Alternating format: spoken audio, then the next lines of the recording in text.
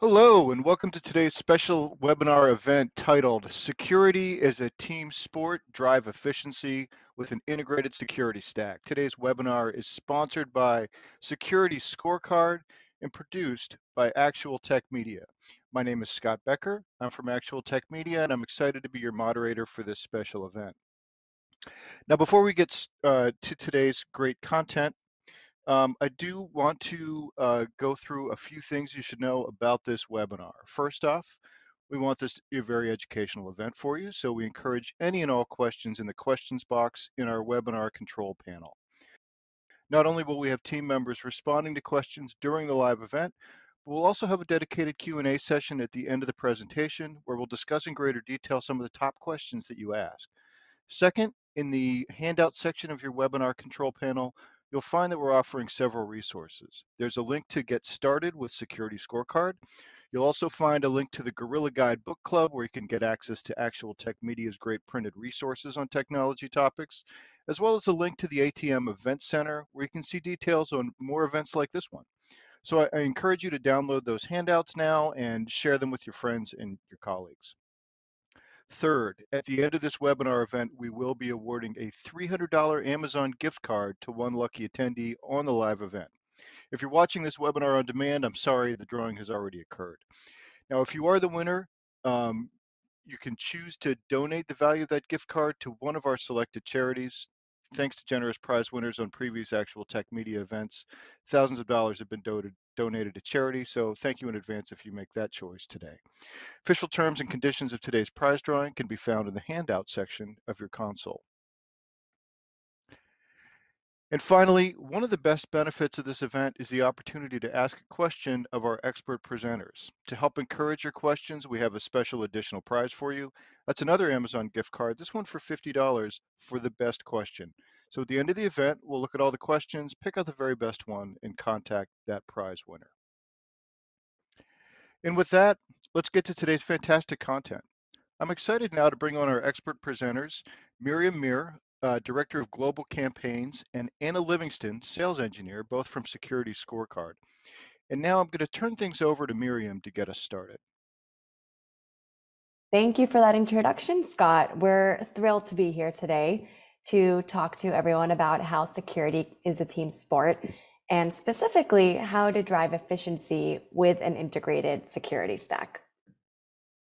With that, first of all, I'd like to introduce Anna, who is with myself here today. Anna, I want to go ahead and introduce yourself to the audience. Yep. Hey, everyone. Nice to meet you. Uh, my name's Anna Livingston. I'm one of the sales engineers here at Security Scorecard. I'm really excited to speak to you about our integrations and how you can use them to operationalize our product. Awesome. Thank you, Anna. And just for everyone in the audience, Anna is one of our best here. So excited to see what she's going to show you today. And my name is Miriam Mayer. I'm Director of Global Campaigns here on mm-hmm. our marketing team at Security Scorecard. So with that, I'd love to get started and just tell you a little bit more about Security Scorecard and security ratings.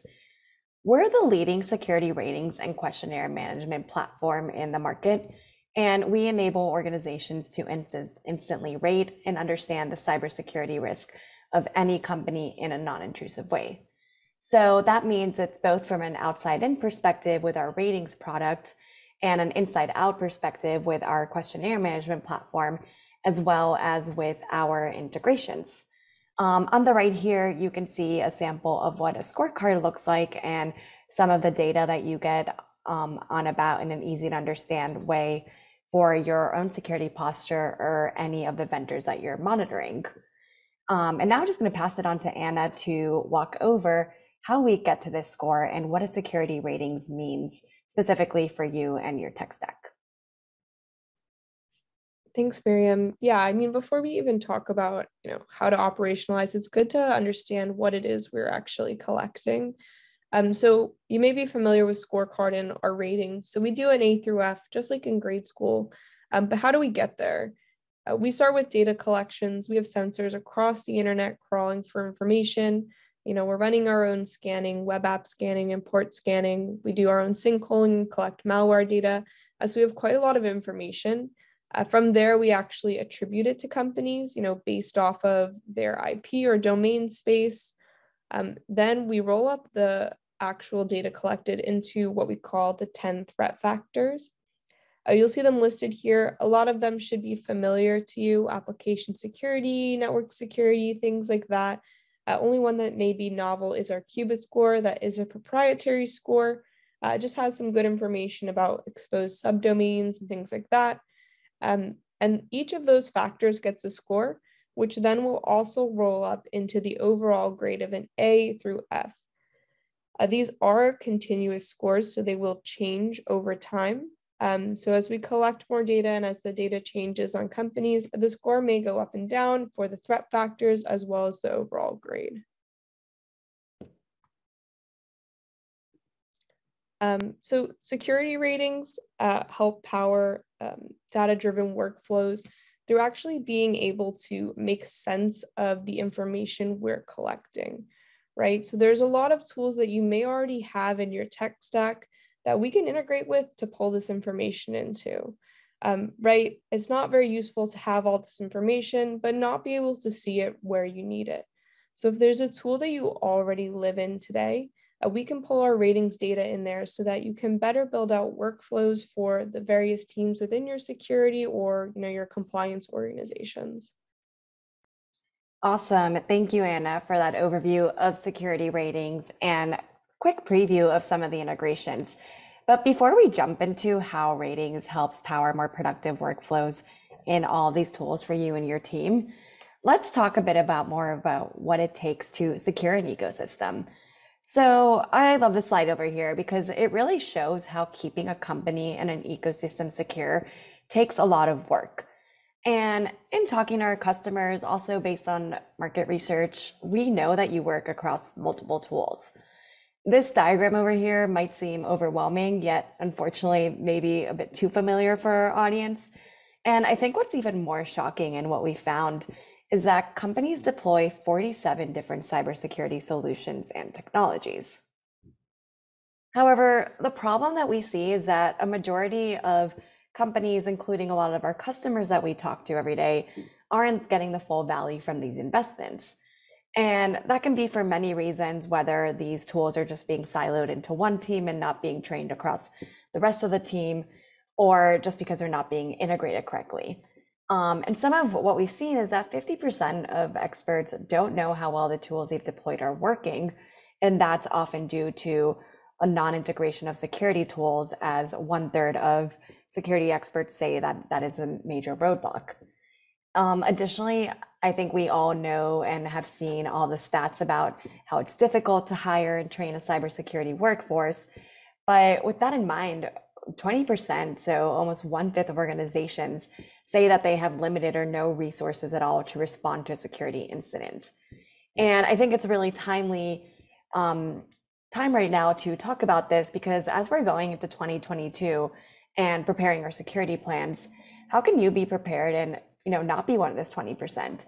Be prepared to be an organization that does have the resources and the tools to respond to a security incident.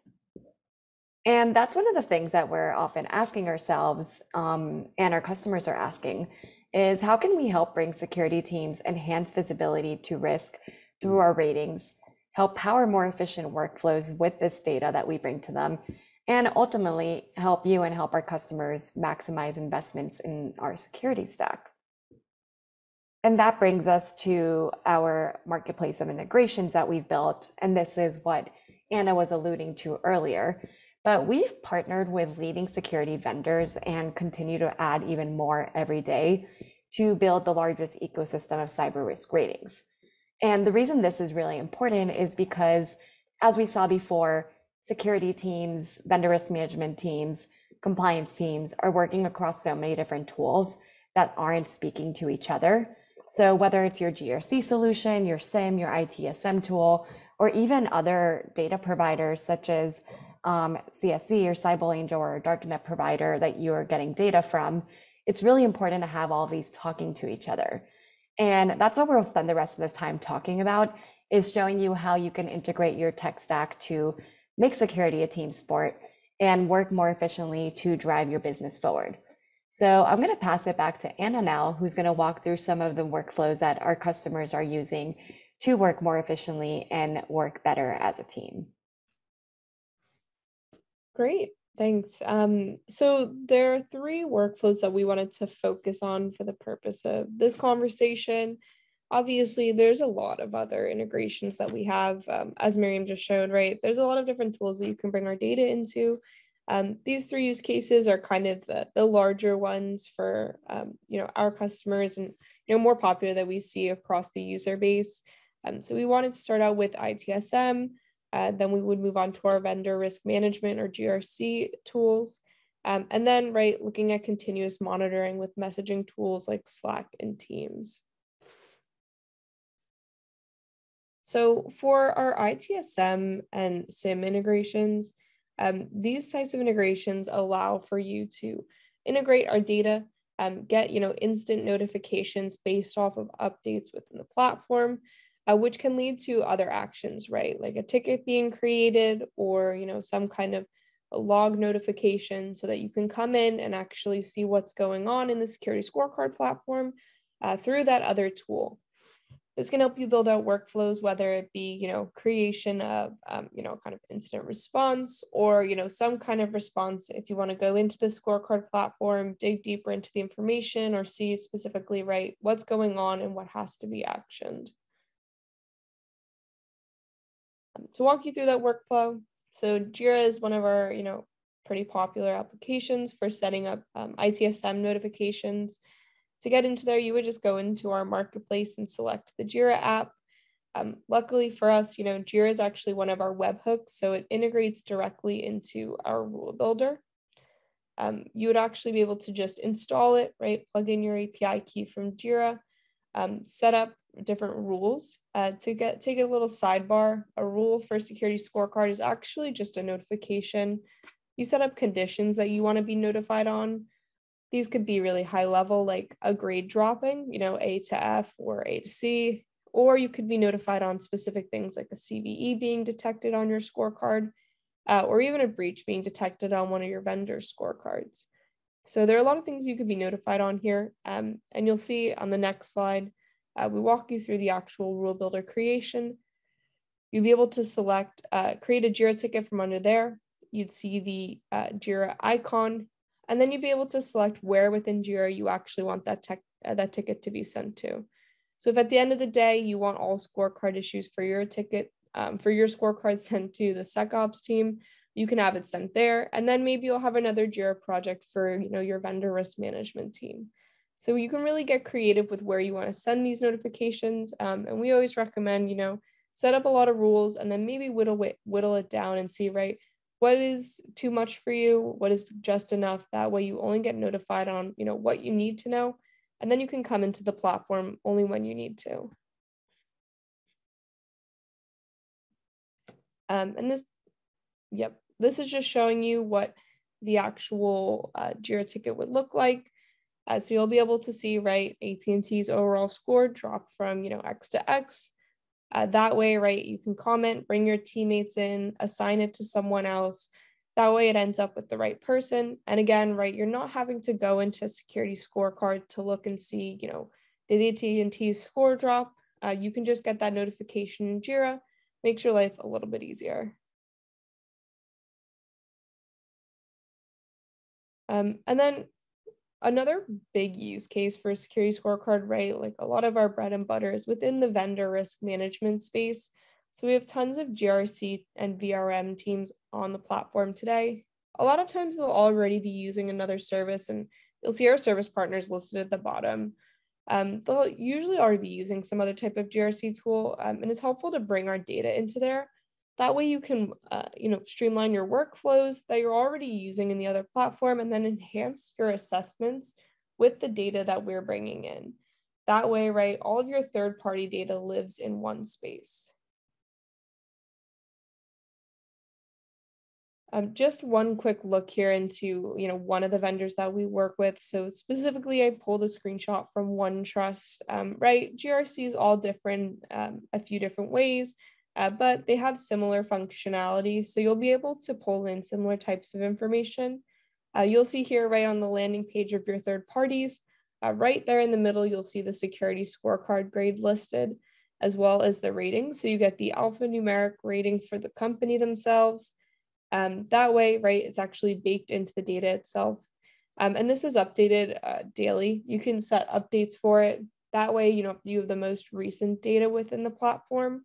So if you're evaluating Atlassian today, you can understand that they have, you know, uh, an A or, you know, a B.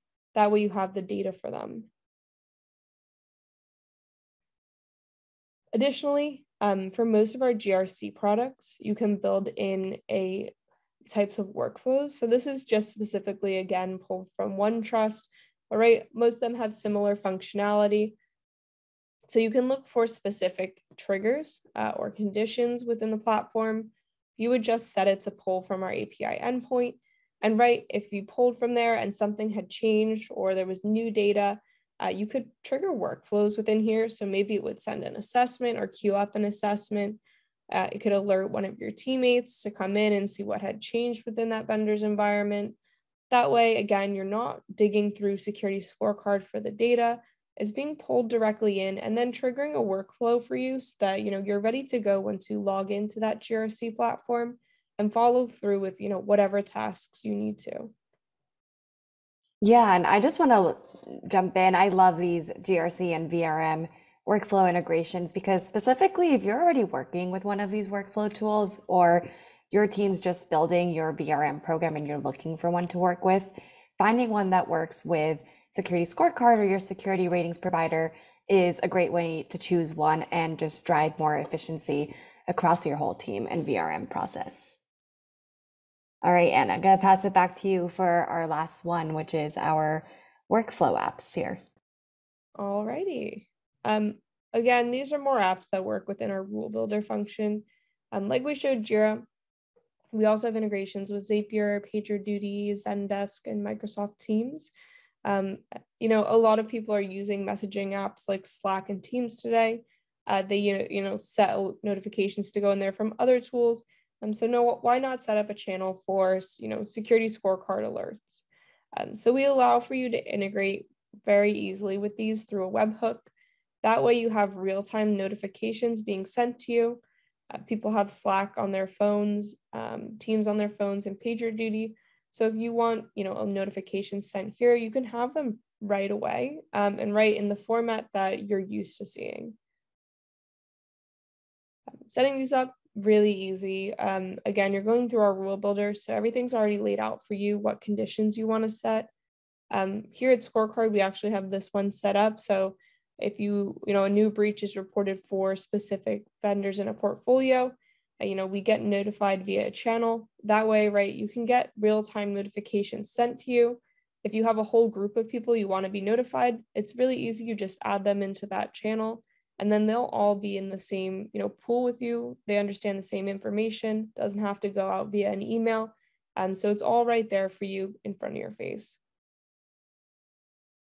um, and just a quick look at what that looks like um, you know you have the channel set up you can add as many team members as you want in here you can also make it a private channel if you want to send you know private information and keep it you know just to your group um, and then you'll be able to view the alerts in here each time the rule was triggered it would just push an alert. Um, and then, right, you can set up multiple multiple rules for one channel. So it doesn't just have to be, you know, these specific issues I want to be notified on. It can be here are a set of issues that I want set to this channel. Um, and you can, you know, have them all sent there. And again, right, it's on Slack. It's super easy. Uh, you can get it sent to your phone. And that way, right, again, you're a tool you're already using um, and you build that into your workflow. Awesome. Thank you, Anna. And I think these are particularly good, especially as we're seeing more and more teams kind of move off email and move into these messaging apps, particularly as we've been seeing more phishing alerts or emails and just email spam. So I think it's it's also super timely for these Slack alerts, um, Microsoft Teams, and all these other tools that we're seeing modern security teams working in. Yeah, definitely. I mean, emails are so cluttered today as is. Um, lots of CISOs and security professionals have, you know, salespeople, um, spammers, phishers. They have all kinds of people in their inbox, and it's quite a lot to deal with. Um, so, right, sending things to Slack or Teams is just a little bit easier. Um, and it's a lot less cluttered, so you can make sense of the information fairly quickly. Awesome. So, I mean, just to recap, recap everything we, we went through, I think it really sums it up is that integrating your whole tech stack helps accelerate risk mitigation for your team and ultimately drive your business forward and make security a business enabler as it should be. But I mean, today we really just talked about three of the ways that um, that we can help you do this, and three ideas of ways that you can accelerate risk mitigation, whether it's for your vendor risk management team through our GRC tools by integrating security ratings and getting that continuous real-time data plugged into your VRM or um, GR- GRC tool and being able to take action for your third parties right away the other one is, of course, security teams and arming your security team within their ITSM tool so that there's tickets automatically created and assigned whenever something takes place in scorecard. And then lastly, and I think these are super interesting or just my personal favorite, is our workflow apps with um, different types of tools that not just security teams, but teams across the whole company, whether it's your marketing team or um, your operations team are using. And that way it can also really help make security a priority for everyone if everyone is getting these real time alerts on the apps and tools that they care about and they use. Anna, yeah. anything you want to add here as a recap? yeah. Um, and I definitely agree with your point, Miriam. You know, it doesn't just have to be the security team um, one of the reasons security scorecard was created was to make security more understandable for both technical and non-technical people right? Um, we have all kinds of users on the platform. Um, some are super technical you know your security researchers and analysts. Um, and then others are you know they work in procurement or legal. Um, and they might not have the same tech savvy skills but they still understand the information that's on the platform um, so it's good to get everybody involved that way, right? Everybody has an understanding of, you know, what's going on here with our security of ourselves as well as our vendors and third parties. Um, so it's easy to understand information, and yeah, I agree. It's it's good for the whole team to get everyone involved.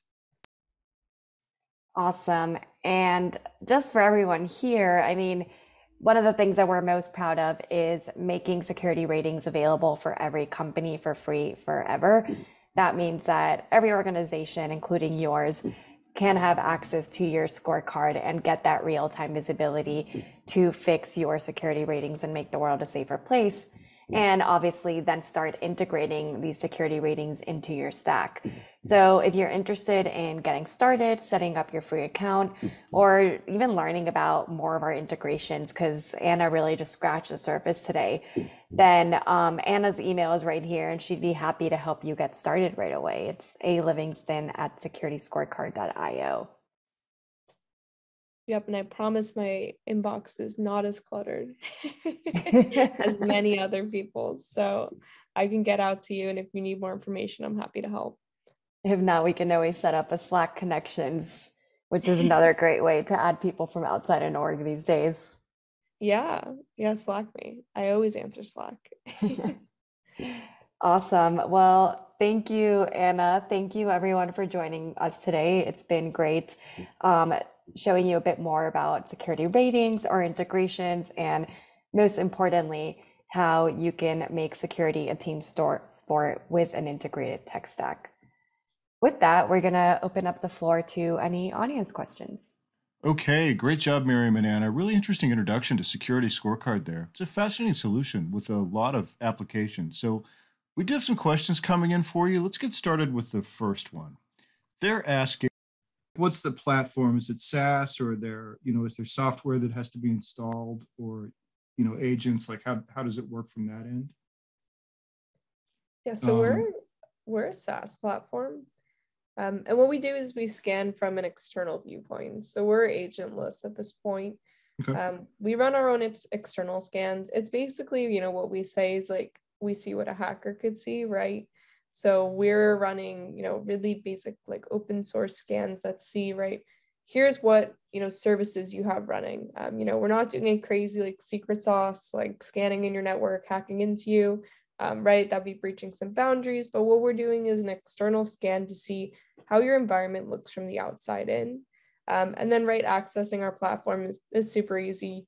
Uh, you can actually just sign up for an account on our website, but um, you would just set up a login. You could come in, and then you know, paying customers can search and look at your scorecard. You know, see what you look like from the outside in.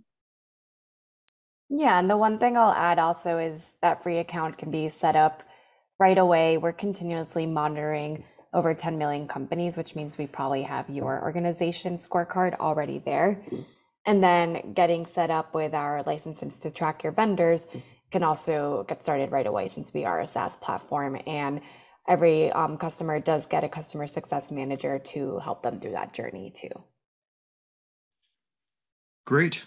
Um, and, and so that's a really interesting question too. You know, for for customers that or or for people who are your customers, are they able to see any of those scores for you know potential vendors that they're evaluating, or is that really something that they need to set up, and the the vendors would would give them permissions to do that? Yeah, so you can look up the score of any company in the world in like a few seconds, basically because what we do is 100% from the outside in. It doesn't require consent from other organizations. Um, so we have companies who use us for a variety of use cases. You know, some of them include M&A, uh, you know, private equity companies who use us to look at potential investment targets. Um, so some confidential things that, right, a company may not even know that they're being looked at or evaluated uh, because of the nature of our platform, right? It's all from the outside in.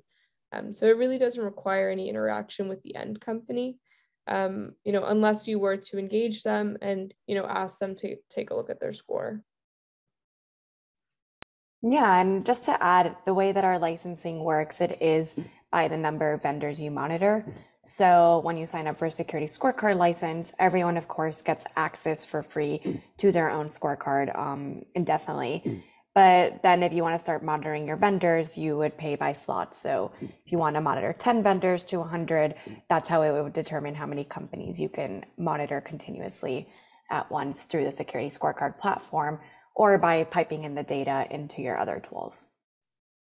Really interesting. Um, you know, say you get a, a, score for your own company and, you know, there are, you know, it, it's relatively low. What, what do you do ultimately you know not just to improve the the score obviously but also to you know ultimately improve the um you know the security of of your environment it, does does the tool itself uh, point to anything or you know are there best practices as far as that goes yeah so with all of the issues uh, we call them issues they're essentially what's sitting inside the 10 threat factors um, with all of the issues that we surface, if we're finding them in your environment, um, right, we'll always tell you where exactly we saw it.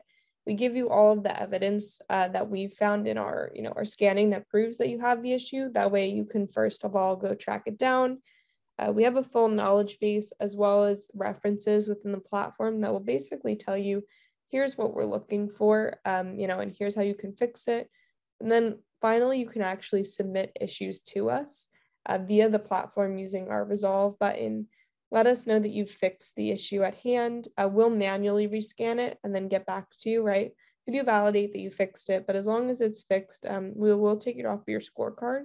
Uh, so you can actually bring your score up, um, you know, pretty quickly if you can get some of these issues fixed. Um, so we'll help you map out a path for you to get to a better score. You know, we're always willing to work with companies to improve their score, but then, you know, things do change over time. So that's where the integrated workflows can come in handy. Uh, you know, you can set up notifications so that, you know, as things change, you can continue to come into the platform and see, you know, what needs to be fixed, um, and, you know, what new issues were surfacing. Yeah, and the the two other things I'll add there, Anna, and you did a great job covering it, is um, even within our platform, we have something called a score planner.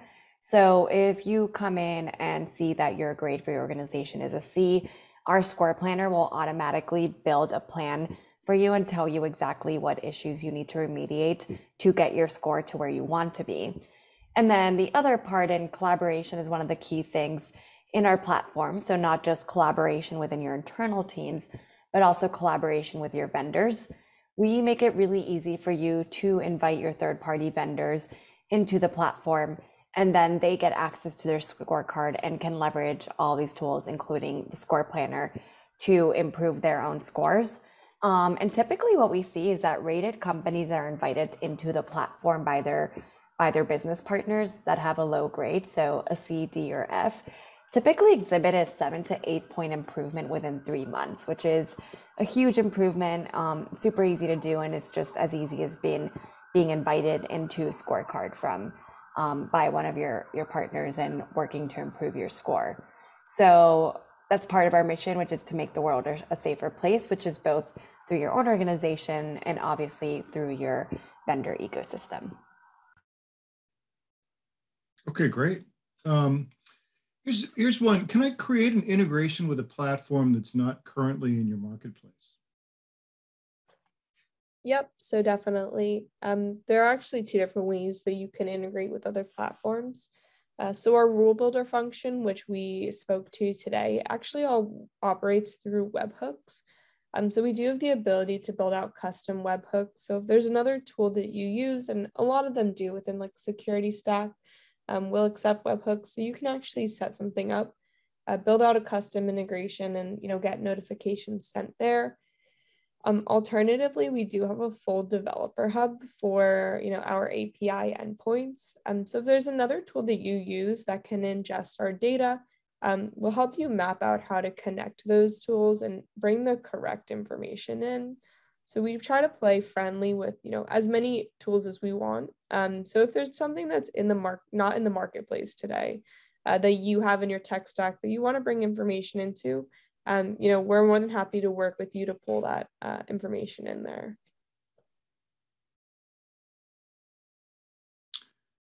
And is there a, a fee to connect uh, security ratings to other platforms? Um, so our API is free for us. Um, again, yeah, we're trying to kind of play nice with a lot of different platforms, but for some of our partners, uh, they may have fees and they can vary by like integration or right installation fees. Um, so a lot of partners might might not have them, but some of them may. So if you're going to set up a connector, um, it's always good to check with right the second service partner to see if there's additional fees that they might charge. Uh, you know, they might just be at installation or they might be yearly. Uh, so it really does depend. Okay, and we're going to continue the, the Q&A here, but I did want to uh, put up a poll here just, you know, for any information that, that you might like about uh, Security Scorecard. Uh, so you can just go ahead and uh, if you would kindly fill that in while we're while we're going here, that would be great. Um, Miriam, are, are you ready for a couple more questions? I am. Super. So um, actually, first off, we, we also had a, a comment from uh, Alison saying, very good support team, keep it up, uh, reference to security scorecard. So that's, uh, that's Thank that's you for that. That is something we are very proud of. Um, we did have a question from uh, Warren, who's wondering if your product is currently being used at any educational institutions. Is that is that one of the verticals that uh, that that takes advantage of Security Scorecard? It absolutely is, and more so, our CISO Mike Wilkes came from NYU, so hmm. um, higher education and educational institutions are one of our um, best customers. Happy to provide Great. more info on that as well. Great. Um, eh, we also have a question here about how easy is it to isolate the problematic areas, the source of origin and the security score? It's a it's a really interesting question. So like if your if your score is lower than uh, you know than you'd like for it to be, you know how, how easy is it to to figure out what's driving that? Yeah, absolutely. That's a great question, and that's something that we make really easy. So when you're looking at a scorecard, whether it's your own or one of your vendors, if you drill into the 10 factors, each factor is made up of various different issues that are divided by the severity. And then you can actually look at each individual issue and see exactly what IP address the issue is coming from um, and how to resolve the issue. And then within it, you can actually let us know whether that issue does not exist, whether you resolve it, or also build your own score plan that will tell you a step by step guide on what you need to fix to get to where you want to be. Okay, super. Um, we also had a question from Thomas, and he's he, he phrased it two different ways. He, he's asking, are credentials required to get the best results, or are credentials required to get the best info about vulnerabilities? Um, and, and I'm, I'm actually not sure with Thomas's question whether he's asking like, do you need to have an account with Security Scorecard, you know, to to see the best information, or whether it's like for for Security Scorecard to um, to sort of scan your environment if it if security scorecard requires credentials. So maybe Thomas, if if you want to clarify on that question, um, that'd be great. But but Miriam, I, I, don't know if there's anything you, you want to say about it based just based on the uh, the phrasing there. Yeah, I can just go ahead and address both. So okay. first of all, in terms of our scanning, all of our scanning is outside in and that what what that means is that it's all information that's externally available and we're constantly scanning the, the full ip um, v6 space. So we are able to pick up everything without credentials and all of our information that we gather for companies is without credentials because it is this outside in view as we call it. And it's all information that's externally available without going into an organization's network. Now the second part in terms of getting information. Um, as we mentioned before, security scorecard, we provide scorecards for free to a company forever. So you can look at your own organization's scorecard and access it as much as you want. And that's easy to do by just creating a free account on our website. Okay. I hope that Super. answers that, Scott. it, it, sounded it sounded like a, a, thorough answer on both parts to me. Um, one thing for, uh, from from Kale, and this may be related. Kale was asking: Is is there a consent management function uh, built in for consent to hold uh, personal identifiable information? Um, and I, I, would imagine that's not an issue based on that outside in perspective. But I, I, what's what, what's your um, what's your view on that? Yeah, absolutely. I mean so our MSA and all of our privacy is available on our website, so you can look at the, the legality and consent piece there. In terms of holding any private information, because it is an outside in view, we don't have anything that's private. What we do have is actually a new feature called our evidence locker.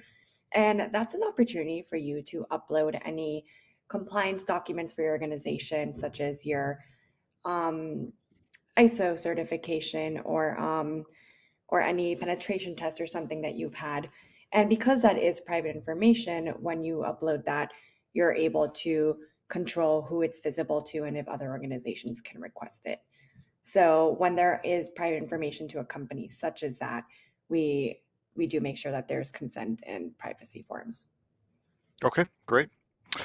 Uh, question from Chad: When when issues are found and resolved, how long is the the history retained? Um, the history is retained for a year. So you can look back at your own scorecard or any vendors that you follow and see that historical information. Okay, great. Um, and it looks like one more question here from uh, Jeremy. He says, I'm looking for security information on our vendors, but our purchasing department is looking for other information about the vendors too. Can they use this for non-security related information as well? So I, I guess, are there any hooks into other public data sources on these companies, or, or is it pretty much purpose built? This is this is about the security scorecard, and you, need other tools for that kind of. Yeah, thing. that's a great question. So currently, all the information we have is security based. Um, we do have a questionnaire platform as well, and this new evidence locker where companies can upload any types of documents, which could be security related or non-security related. However, one of the efforts and areas that we're expanding to with our marketplace is getting more types of data outside of security data into it. So possibly an integration with um, Dun and Bradstreet or something like that. So if there are any integrations you are interested in, um, you can definitely let us know and we can look into them as well. But if not, another way to get that information in a single pane of glass is by integrating our ratings into other data sources that you might be leveraging. Okay, Great. Well, it looks like we've run through most of the questions here. Um, Miriam, we, we do have the get These started great with questions. security. Thank you, everyone. Yeah, were. Yeah, absolutely. Uh, we do have that get started with security scorecard link in the handout section. And as, as you and Anna mentioned, uh, her email, a livingston at secure, securityscorecard.io is a place for, for more info. But any other recommendations for, uh, for getting the most out of a trial? Um, no, we definitely encourage you to sign up, start managing your own scorecard, see what you can do. And then, you know, someone mentioned that our support team is great, which is true. If you want to take it to the next step, they're there for you. We also recently launched professional services. So if you do want to do a professional service assessment to understand your current third party risk management program and how security ratings can plug right into it, that's also a great way to just start operationalizing it and get the most value of it right away. Fantastic. Well, thanks so much for being here. Great presentation. Appreciate all the answers in the in the Q and A. Uh, this has been a really informative session. Thank you, Scott, and thank you everyone for joining. We really enjoyed um, chatting with you today and telling you more about our integrations. And uh, before we wrap up, we do have one more piece of business. It's the $300 Amazon gift card prize drawing. And the winner of the $300 Amazon gift card is Pep Barameda from California. So congratulations to Pep. We'll be in touch to get you your card. And with that, on behalf of uh, the Actual Tech Media team, I want to thank Miriam and Anna for putting together this really informative presentation, for all their insights in the Q&A. And I'd also like to thank Security Scorecard for making this event possible. And last but not least, I'd like to thank all of you for attending, uh, and as Miriam said, for your, for your great questions here. So that concludes today's event. Have a great rest of your day.